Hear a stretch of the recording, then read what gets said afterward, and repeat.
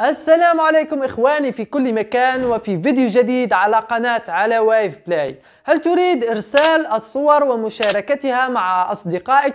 وإرسالها بجودة عالية دون أن تفقد الجودة الخاصة بها. وهل تريد إرسال الفيديوهات ومشاركتها مع أصدقائك بدون أن تفقد الجودة الخاصة بها؟ وهل تريد رفع ملفات معينة ومشاركتها مع المتابعين على قناة اليوتيوب؟ إذا كنت مهتم بهذه الأشياء تابع معنا الفيديو إلى النهاية لأنه هناك شيء تراه كل يوم أمام أعينك وتجهل أنه يساعدك في مشاركة الملفات والصور والفيديوهات مع الجميع.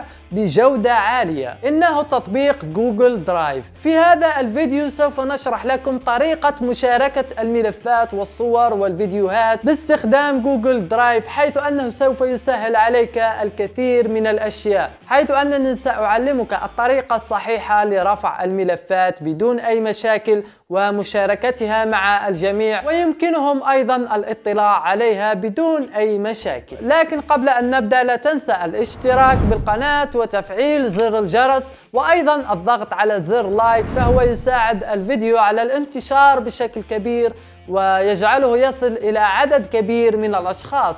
لكي يستفيدوا مثل ما أنتم تستفيدون الآن. فلرفع الملفات على Google Drive ومشاركتها فأنت بحاجة إلى حساب جوجل أو Gmail. أغلبكم لديه حساب Gmail. لا أظن أنه هناك من لا يزال لا يملك حساب Gmail. أولا تقوم بتحميل Google Drive من متجر Google Play أو إذا كنت تستخدم نظام ال iOS يمكنك أيضا تحميله من متجر الخاص بنظام ال iOS فتابعوا معنا لنبدأ في الشرح ونوضح لكم كل التفاصيل.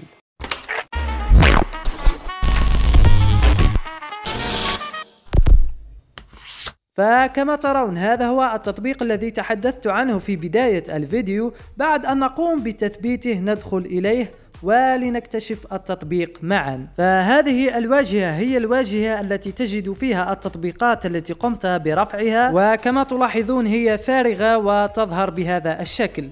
أيضا من هنا يمكنك أن ترى هذه الميزة حيث أنه التطبيق يوفر لك 15 جيجا بايت مجانا حيث يمكنك رفع التطبيقات بقيمة 15 جيجا وتقوم بحفظها على حسابك على Google Drive. أما إذا كنت تريد توفير مساحة أكثر من 15 جيجا بايت على حسابك على Google Drive فيجب عليك أن تدفع. فهذه هي العروض التي يقدمها تطبيق Google Drive. فكما تلاحظون فهي تتراوح ما بين 100 جيجا و200 جيجا و2 تيرا بايت والخيار يعود لك فإذا كنت شخص يرسل الملفات كثيرا فالخيار يعود لك. فأنا عادة عندما تمتلئ المساحة أقوم بفتح حساب جديد. فهذا هو الحل. المهم أنا الآن سوف أشرح لكم الميزات التي يوفرها هذا التطبيق وكيف يمكنك رفع الملفات والصور والفيديوهات ومشاركتها مع الأشخاص الآخرين أو نسخ الرابط الخاص بها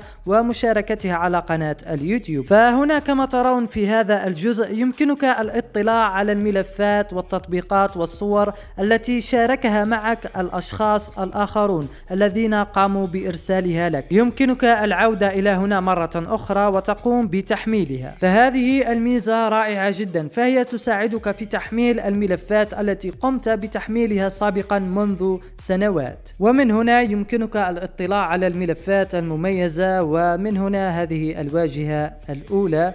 نعود إلى الملفات. فكيف يمكنك رفع الملفات والصور والفيديوهات إلى تطبيق Google Drive؟ كل ما عليك فعله الضغط هنا ثم هنا. ستظهر لك هذه الخيارات. نختار هذا الخيار بهذا الشكل تضغط هنا. ثم تختار التطبيق الذي تريد رفعه ومشاركته. تختار صورة أو فيديو أو ملف أي شيء تريده. فأختار الصورة. كما ترون يستغرق الرفع القليل من الوقت حسب حجم الملف.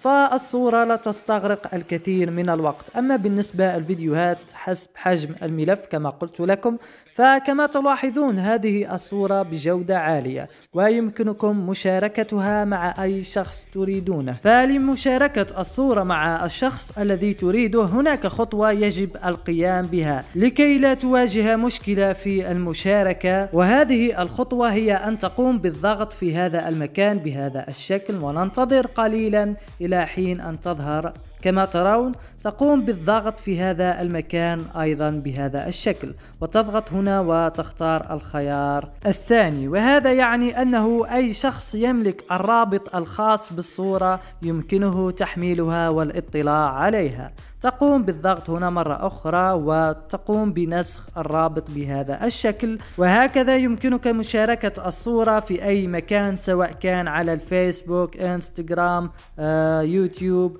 أو مع أي شخص تريده. وهنا نكون قد وصلنا إلى نهاية الفيديو. دمتم في رعاية الله. Top dog, bite them all, yeah, I'm burning it up.